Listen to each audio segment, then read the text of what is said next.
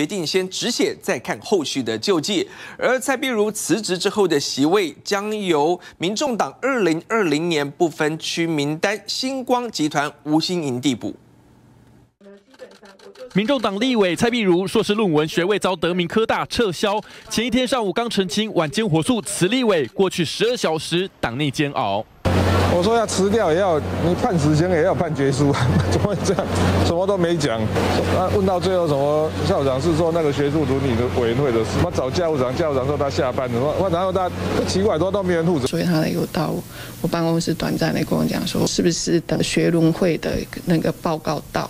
他告诉我们六七点会寄给我，但是也没有。等不到校方判决书，蔡碧如率先辞职，就是怕事件冲击黄珊珊，还有在新竹稳定领先的高虹安选情。党内要蔡碧如辞职先声浪，柯文哲挥刀止损。我说如果审定书没有出来，这个件事情就先止血了，你还是先辞哦，然后再去寻求那个救济。绿营嘲讽民众党是断尾求生，但相较林志坚论文遭双杀，蔡英文还要全党救一人，柯文哲再很酸。民众党哦，它有个很大的特色，都会比较理性，不要那什么全党就一人啊，连那连台大都要干掉那种，那那讲乱七八糟。我们还是很理性的思考嘛。